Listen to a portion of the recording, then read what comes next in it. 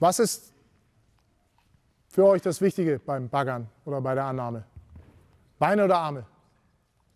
Oder was ist das Wichtigere? Ja, ich denke, es ist relativ einfach zu erklären. Hände und Arme können viel schneller auf unvorhergesehene Sachen reagieren. Ja, wenn ich jetzt jemand sagen würde, werf mal was da vorne in den Mülleimer rein, würde der jetzt nicht so versuchen, da reinzuwerfen. Ne? Sondern würde versuchen, okay, aus dem Arm dahin zu werfen. Arme Hände sind viel genauer. Ähm, je höher das Niveau nachher wird, wird natürlich die Zeit auch extrem kurz, um sich überhaupt sehr viel bewegen zu können. Ja? Ähm, aber Arme sind das deutlich entscheidender. Ich weiß, dass früher, vielleicht sagen jetzt einige, ja, was, wieso jetzt Winkel, wieso soll er sich dahin ausrichten?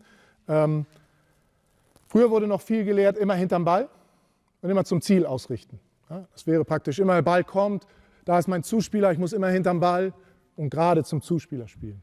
Die Zeit, wo das gelehrt wurde, immer hinterm Ball bewegen in der Annahme, das ist wirklich vorbei. Also die Zeit ist nicht da.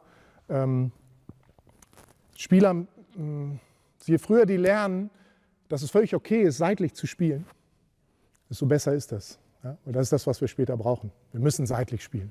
Ja? Das heißt wirklich, diese, diese Winkelarbeit ist enorm wichtig. Deswegen auch dieses Verständnis zu schaffen, das ist das Einzige, was der Ball kennt. Wenn ich mein Spielbrett richtig einstelle, Einfallswinkel gleich Ausfallswinkel.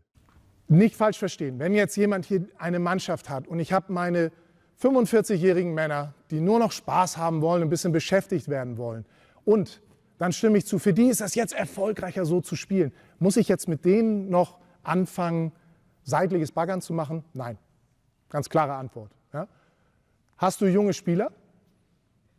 Und dann zählt für mich das Argument nicht, ja, aber in dem Spielniveau können wir noch dahinter laufen und irgendwann können wir es halt nicht mehr. Also da geht es um Spieler auszubilden und da gehört seitliches Baggern ganz, ganz klar dazu.